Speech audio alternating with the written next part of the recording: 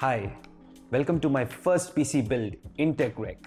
I'm going to show you how to build a high-end gaming PC at a budget of 1.8 to 2 lakhs, where you can game at all the titles at 1080p, 2K and 4K resolution, and it is going to pack a lot of punch with awesome speed and performance. But before getting any further, I would like everyone to like, share, and subscribe this channel, and also hit the bell notification icon in case any of my new future tech pops up. So, without any further ado, let's build this.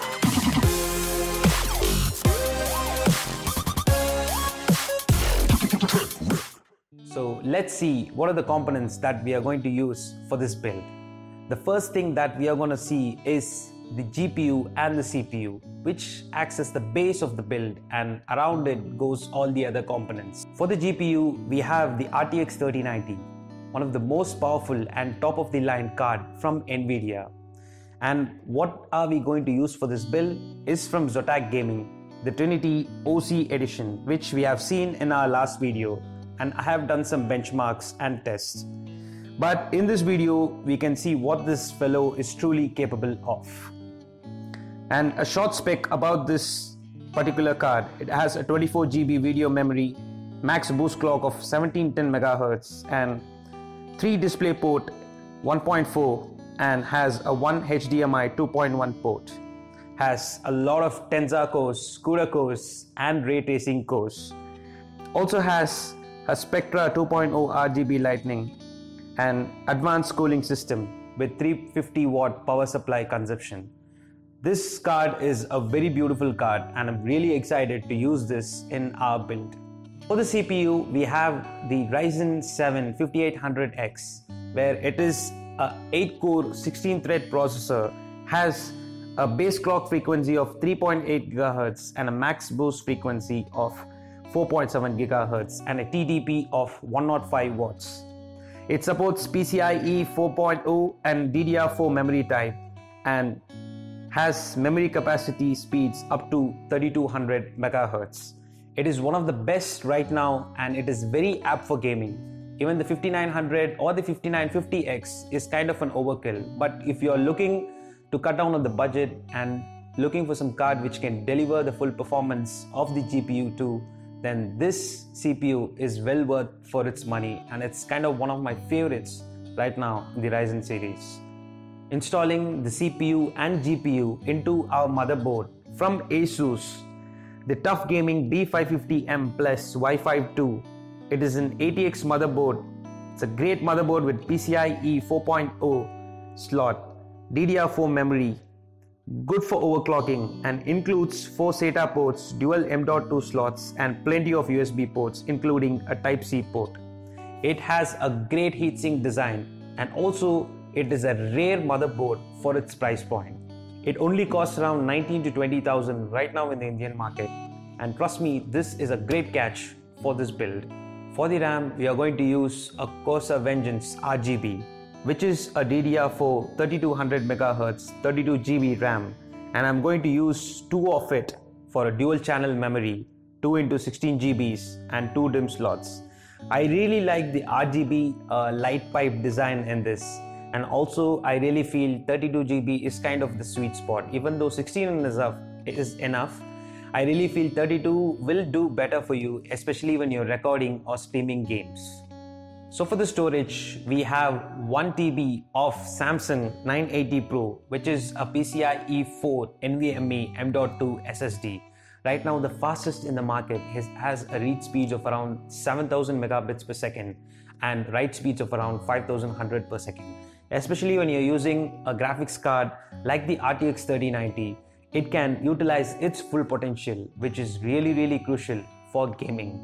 And this is going to act as a primary storage and also as a boot storage.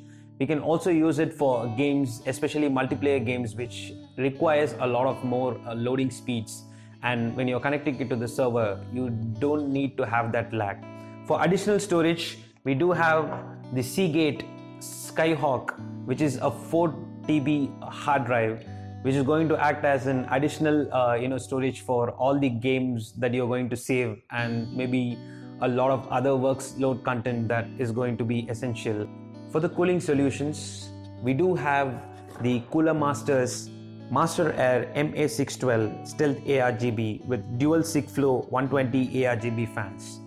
There are two reasons that have chosen this. One is for the cost and two is for the performance. It has a very quiet operation and comparatively to a liquid cooler, I really say that this performs equally. Maybe a stock air cooler doesn't do much of a difference, but when it comes to a custom air cooler, I really feel these days these guys are you know very much equal to all those liquid coolers.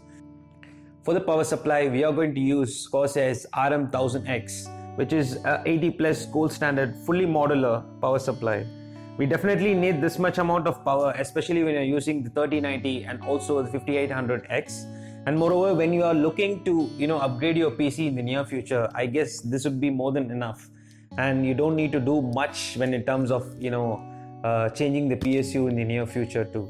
And as far as the case is concerned, we are going with the uh, NZXT uh, you know H510 Elite. It is one of the most beautiful looking cases, and moreover, it has a tempered uh, side and uh, uh, you know front glass panel, and has a good cooling solution. It's one of my favorite uh, you know case because I am using H500 in my personal one. Has also a USB you know C type port on the front, and has a good amount of you know cooling solutions overall comes with uh, two inbuilt ARGB fans. So that is kind of an uh, you know added uh, plus when we are buying this case. Overall, for this price point, I feel this is right now the best mid-tower ATX case that we can find and which is going to hold our build together. So without any further delay, let's build this and see how it actually looks.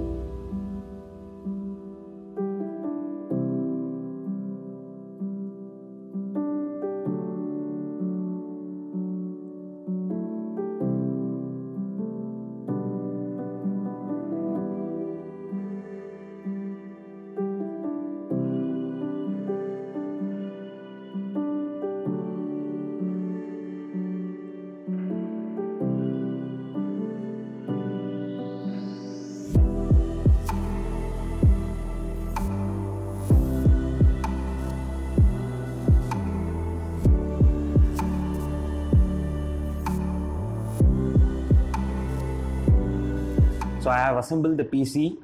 I think I guess uh, I have done a fairly good job, uh, you know, in the cable management section.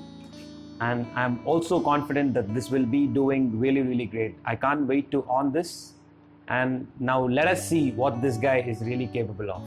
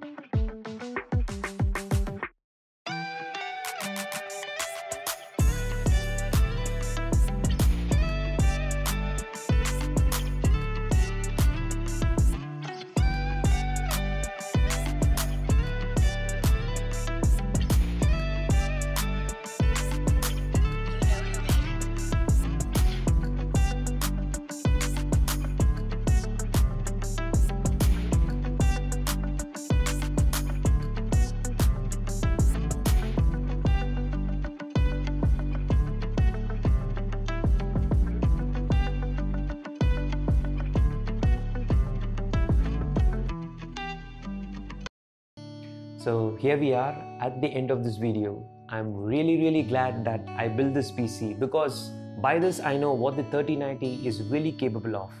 But my main surprise was the motherboard. The Mini ATX performed really really good especially with the overclocking and gaming performance i never really expected more out of this and also this looks really really beautiful i love the rgb especially from the stock argb fans from nzxt and also the rgb strip that is given on the top. So if you guys need any pc to be built in the future or need my suggestion do uh, contact me in my email id below. I'll be definitely happy to help you or at least comment down below. Do like, share and subscribe my channel. And also hit the bell notification icon in case any of my new PC builds pops up in the future. I also given my PayPal link in the description below in case you guys are helping me to build this channel for future for some great great content.